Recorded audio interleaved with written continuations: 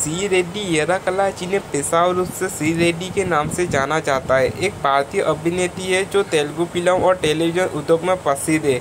उन्होंने 2011 में नैनू नाना अब्दामा के साथ अपनी शुरुआत की और अरविंदा टू और ज़िंदगी में दिखाई दी। सी रेड्डी ने अपने करियर की शुरुआत गोविंदा वरहा द्वारा निर्देशित नैनू अता अब्दानामा 2013 में वह शेखा सूरी द्वारा निर्देशित थ्रिलर फ़िल्म अरविंद में महिला नायक थी। वह आगामी तेलुगु फ़िल्म ज़िंदगी में चला साई वरुणा के साथ दिखाई देगी।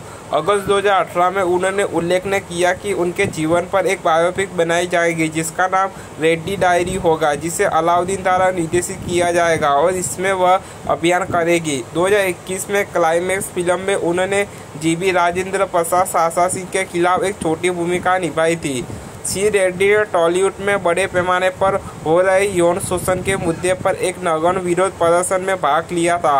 फ़िल्म सस्ता मूवी आर्टिस्ट एसोसिएशन ने विरोध के लिए सी रेड्डी पर प्रतिबंध लगा दिया।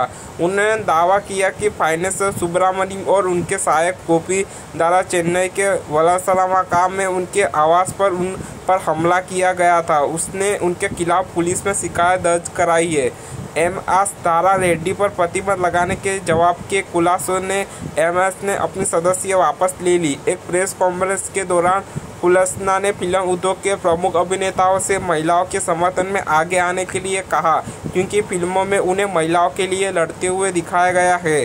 कास्टिंग काउच में मुद्दे पर फ़िल्म उद्योग की चुप्पी की भी कई अभिनेताओं ने आलोचना की है। भारत के राष्ट्रीय मानवाधिकार आयोग ने रेड्डी के विरोध पर तेलंगाना सरकार के सूचना एवं प्रसारण मंत्रालय को नोटिस भेजा है।